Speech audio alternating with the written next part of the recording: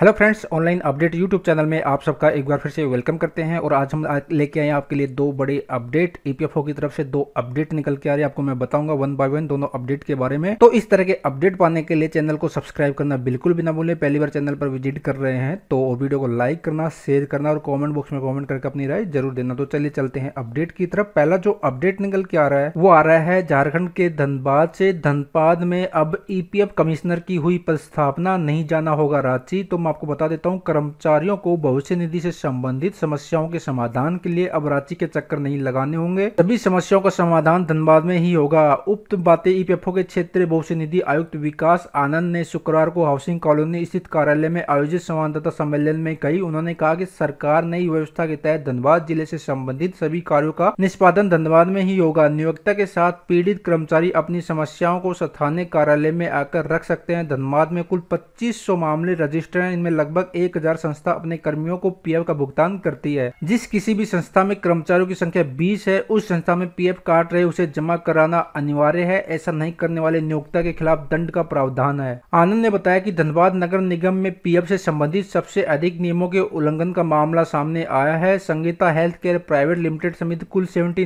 मामलों की सुनवाई चल रही है। संगीता हेल्थ केयर के खिलाफ अभी हाल ही में आदेश पारित करते हुए चौबीस लाख रुपए का स्टेटमेंट किया है। उन्हें पत्र प्राप्ति के पंद्रह दिनों के अंदर उक्त राशि पीएफ मद में जमा करने का आदेश दिया गया है। वही कंपनी से जुड़े डॉक्टर राजीव करण का कहना है कि यह मामला उनकी जानकारी में नहीं है वकील ही बता पाएँगे। वैसे हमारे विकल्प में सभी का पीएफ जमा होता है। तो अगर आप झारखंड के धनबाद से बिलोंग करते हैं, आपको पीएफ ईपीएफ से संबंधित कुछ प्रॉब्लम है तो अब आपको काफ़ी अच्छी खबर है उनके लिए। धनबाद में अब पीएफ कमिश्नर की हुई प्रस्तावना नहीं जाना होगा उनको रांची।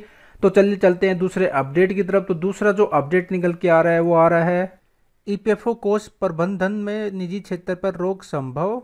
तो आपको बता दें बहुत से निधि संगठन यानी कि ईपीएफओ निजी संपत्ति प्रबंधन कंपनियों, कॉरपोरेट घरानों द्वारा उसके सेवानिवृत्त कोष के प्रबंध पर रोक लगा सकता है। सकता है। Infrastructure leasings and finance services limited में 91 हज़ार करोड़ के घोटाले में सबक लेते हुए ये कार्रवाई की जा सकती है। भविष्य निधि संगठन अभी तक सरकारी और निजी संपत्ति प्रबंधन कंपनियों को यह ज़िम्मेदारी सौंपता रहा है, लेकिन आई एल में गड़बड़ी और इंडिया बुल्स जैसी कंपनियों के संकट में म्यूचुअल फंड उद्योग को तगड़ा झटका लगा है। ईपीएफओ के पैसे का भी इन कंपनियों में निवेश किया गया था, जिसे उसे नुकसान उठाना पड़ा है। तो दोस्तों, ये दो अपडेट निकल के आ रहे थे ईपीएफओ की तरफ़ से, और आगे भी जो भी कोई अपडेट आएगा हम कोशिश करेंगे आप तक सबसे पहले पहुंचाएँ। तो इस तरह के अपडेट पाने के लिए चैनल को सब्सक्राइब करना बिल्कुल भी ना भूलें। मिलते हो लेटेस्ट अपडेट के साथ।